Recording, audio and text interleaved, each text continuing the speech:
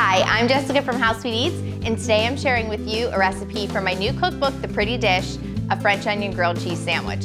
This grilled cheese is just to die for. It has all the flavors of French onion soup, it has that toasty bread, the melty Gruyere cheese. We're gonna caramelize onions. We're gonna use sourdough bread. We're gonna make a homemade thyme butter to cook it all in. It is just so, so, so good. So to start, we're gonna melt some butter and caramelize our onions. I sliced up one large sweet onion. I'm gonna add it to the melted butter and I wanna let it cook for 20 to 30 minutes just until it naturally caramelizes.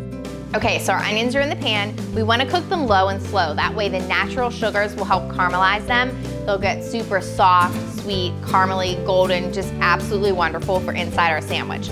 While these are cooking, we're gonna make a thyme butter. I have softened butter here. Now, I'm gonna add a little bit of dried thyme if it's the summertime and you have fresh thyme growing in your garden, that's excellent, add that. I'm gonna add just a little pinch of dried thyme and mix it all together to create this delicious thyme butter that we're gonna spread on the outsides of our bread.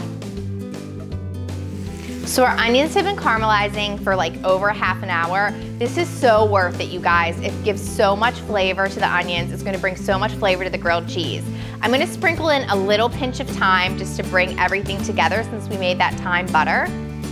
And then I'm gonna transfer the onions to a bowl and we're gonna cook the grilled cheese right in the same skillet. So now that our onions are finished caramelizing, we're gonna build our sandwich. I love to use sourdough bread for this recipe. It just adds like another element of flavor. I'm gonna spread the thyme butter on the outside of the bread slices. I spread the thyme butter on the outside of the bread slices. Now we're gonna fill the insides with the Gruyere cheese and the caramelized onions.